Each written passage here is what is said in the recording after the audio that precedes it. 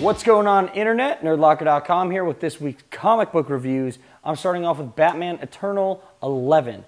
I do have to say, first glance into this, the artwork, I was kind of like, what? But the thing I really enjoyed about this is that it really has a Batman Inc. feel, like the Morrison, just the, the artwork and everything else, and being that it's written by Scott Snyder.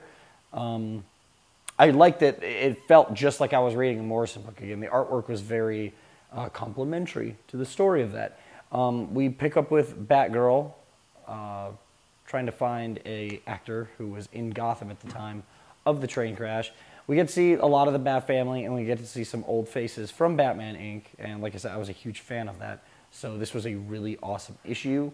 Um, I, this was kind of just a, a, filler. I mean, to build up the story, we see Stephanie Brown kind of looking in on who her father is, the things she didn't know about him, and um, kind of what she's discovering.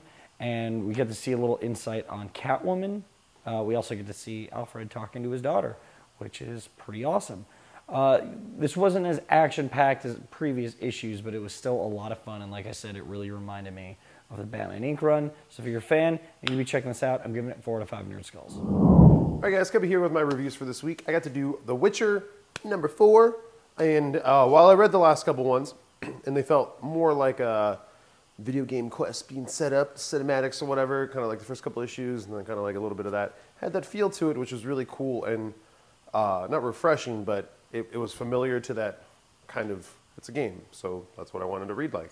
This one was like way more of a horror comic, which was cool because it's it's dealing with like you know ghosts and monsters and evil shit like that. So bring it on. And it actually was kind of like scary. It wasn't too terrifying. It wasn't like I needed to change my pants, but still pretty good, like uh, an easy feeling when you're reading this book. So that was pretty sweet.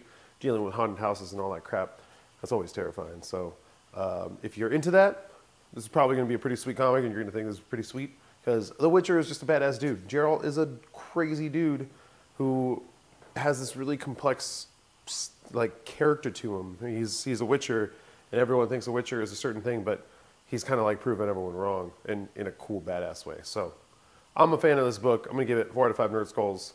You guys should check it out. Hey guys, Translucid number three comes out out of Boom Studios. Uh, this book is so fantastic. In this uh, third issue, we take another step into uh, the childhood of Cornelius. Uh, we see him playing around with one of his inventions, uh, with, with one of his, uh, I, I, believe his, under, his older brother.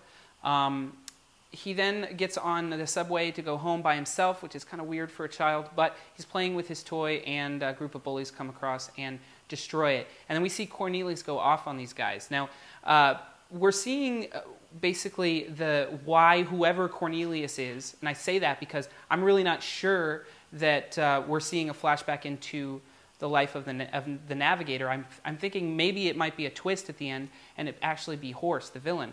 Um, but I mean, this, this issue is mostly about codependence, much like the Killing Joke, which Claudio Sanchez and Chondra Echert, of course, wanted to reach with this issue, with this uh, series.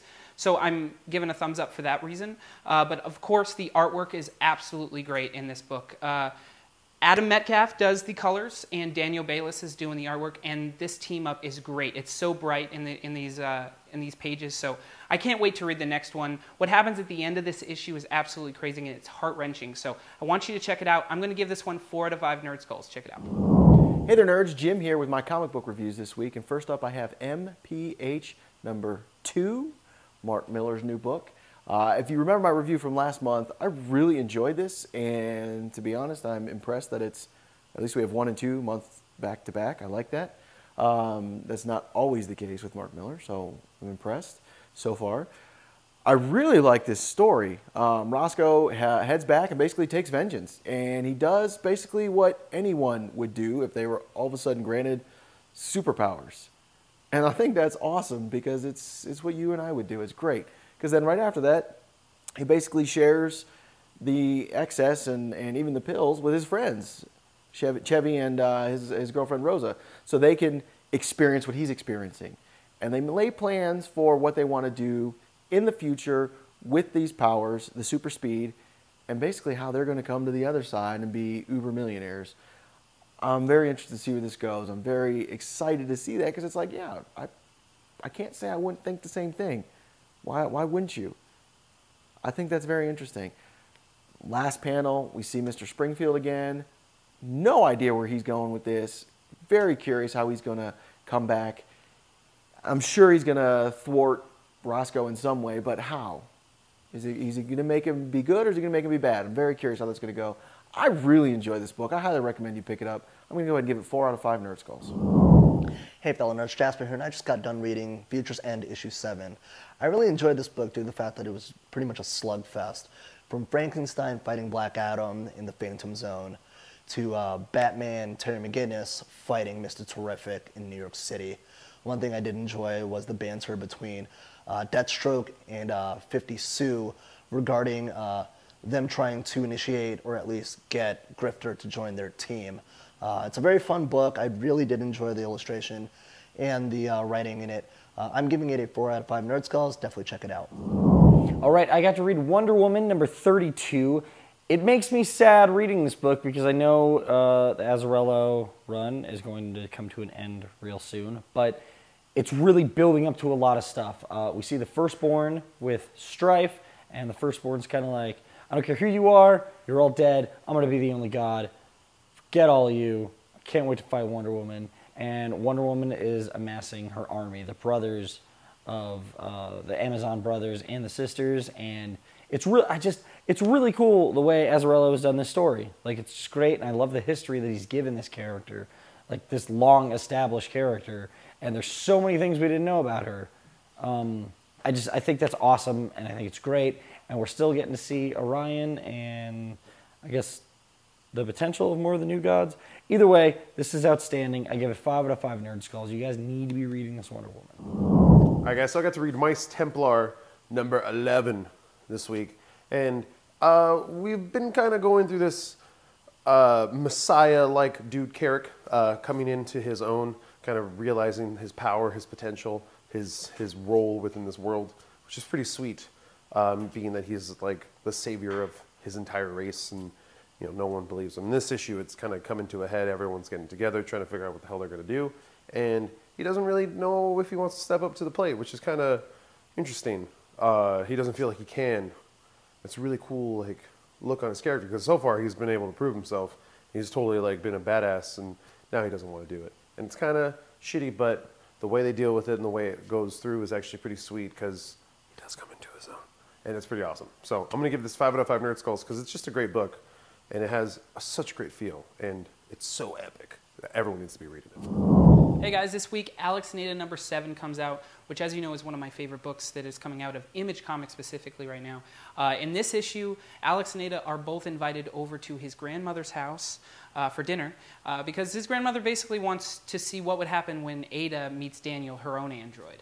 Uh, when they come over, of course, Ada has to pretend that she's not sentient or jailbroken, um, but Alex's grandmother sees right through that and calls her out on it. And then uh, what happens at the end of this book changes everything that I thought this book was about, basically. Uh, in the first six issues, you're rooting for Ada to become sentient and really understand the world. Uh, you want Alex to have that companion to show her around and, and make her understand how the world works. Uh, you're really rooting for that, for that couple.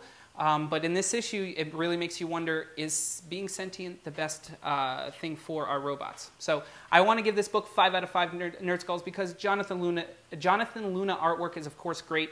Um, he's doing the writing with Sarah Vaughn, and they're just a great team up. So I want you to check it out. Five out of five nerd skulls. So next up, I got to read Star Wars Darth Maul number two. One of the reasons why I really love this story is it's picking up from the events of the animated series that is now currently on Netflix, which I highly recommend you check out. I really enjoy how they're delving more into Darth Maul and his team up with the Black Sun and um, where they're going with this and their fight against the Emperor Darth Sidious and Count Dooku. This one, it's clear there's more to it. And what I, what I really like with these sort of extended storylines is we already know the Emperor's story. We know Count Dooku's story. There's things in there. We know how it's going to end, but I want to see how it gets there. So Darth Maul is uh, colluding with Mother Talzin, and they're basically trying to take out the Emperor and Count Dooku. And it's very cool. We have more Nightbrothers showing up, fighting with Darth Maul. There's a lot of intrigue going on, and I don't know who is more devious in this one, Mother Talzin or Darth Sidious. We know who wins, but we don't know how they get there. So I'm, I'm very curious to read more. I really enjoyed this book. It's a really good Star Wars one. Check it out. Four out of five Nerd Skulls.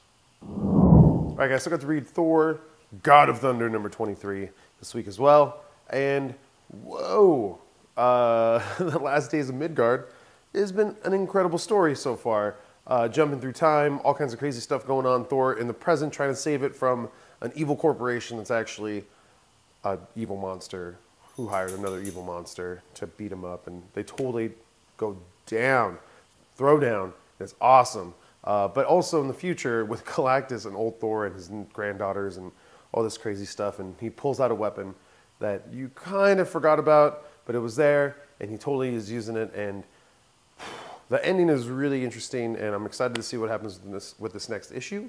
Uh, just kind of tying everything up and wrapping everything up uh, because it's been such a good ride so far, and this definitely did not disappoint. So I'm gonna give it five out of five Nerd Skulls, and it's still one of my favorite books, solo books out there.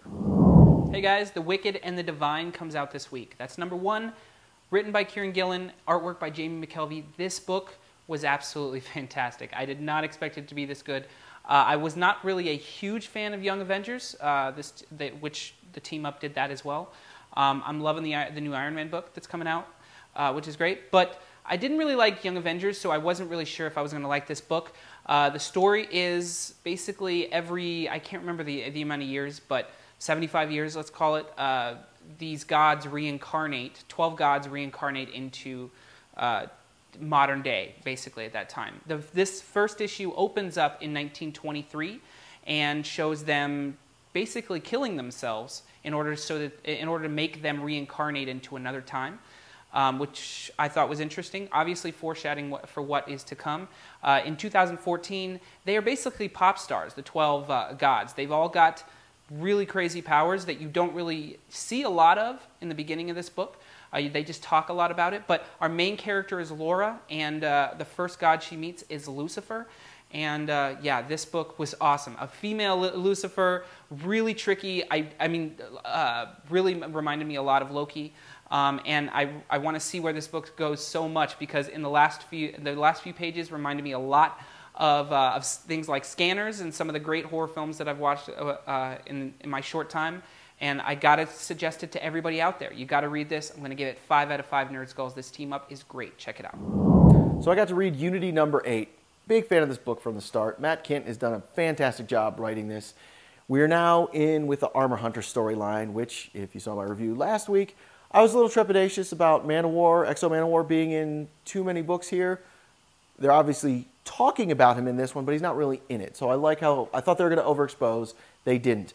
They focus on Livewire trying to recruit someone to join the team to help them in their fight against the armor hunters. They've seen the results of what happened down at Mexico City, and they're just basically trying to combat it. And you have Ninjak and Gilad doing their own thing, and I like that. The team isn't team yet. They're basically out doing their own thing to recruit. I think it's a good storyline. I think it's showing us, damn, this is going to go places. I highly recommend you check it out. I'm going to go ahead and give this one four out of five Nerd Skulls. All right, guys. So I got to read New Avengers number 31, uh, the original Sin tie-in this week, and this time jumping adventure has just been uh, getting a little crazier, and uh, just a bunch of questions have been asking. That's essentially the last page. Like, what the hell is going on? Um, it's it's the one thing that keep, keeps going, but there's enough in it in the actual story as it's going on to kind of keep you satisfied and keep you wanting more. It's it's addictive. It's really good though, and I like what they're going with it. And the the the alternate future they jump into, I totally thought it was going to be something else, and it turns out to be pretty awesome. Um, but I do want to know what the hell's going on. I do feel a little confused, um, but I'm not complaining. So I'm going to give it three and a half out of five nerd skulls because it was a little lacking in the full development. But either way, it was awesome. So check it out. So I got to read. So I got to read Brain Boy and the Men of Gestalt number two. This one I'm still not entirely sure about. Uh, we have Matt Price. He's on a plane. He's flying to go take care of business. And I I really did like this comment. He makes a comment uh, with his powers. He hates the astral plane, and he's flying on a plane as he's forced to get on the astral plane to fight other telekinetic powers. I just thought that was funny. I don't know if anybody else got that, but I enjoyed that. Um, the the story's okay. It's entertaining, but it's not great. It it kept me there, but at the same time, it's not one that I think I would put in my pull box. I think if it was a slow week, I think I'd pick it up.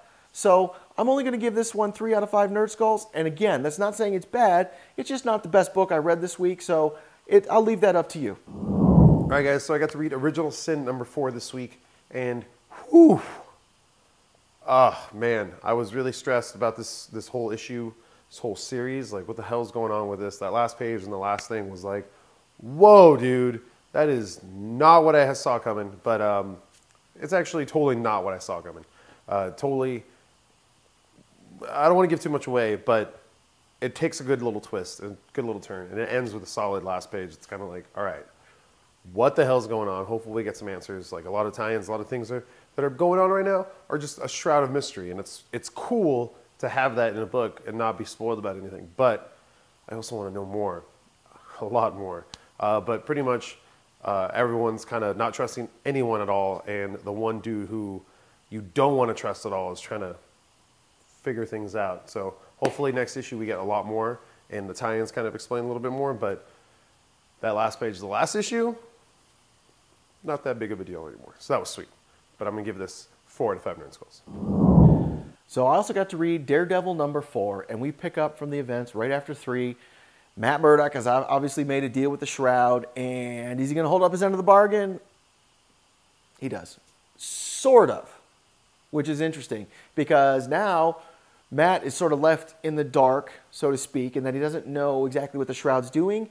And is he colluding with the owl? Is he using the owl? What is going on? There's a nice twist at the end that shows it's not what you would think. And Daredevil uh, has to save the day, but again, it's not what you think. And even at that, I'm not entirely sure what, what Matt was thinking is true. I, I just don't know. But I really like how they leave that open ended and they leave it for you to decide. I believe this is the end of this storyline, so we'll get Matt into more problems. But I really enjoyed this one for its simplicity and its nice little twist. I would go ahead and recommend this. I'm going to go ahead and give it three and a half out of five nerd skulls.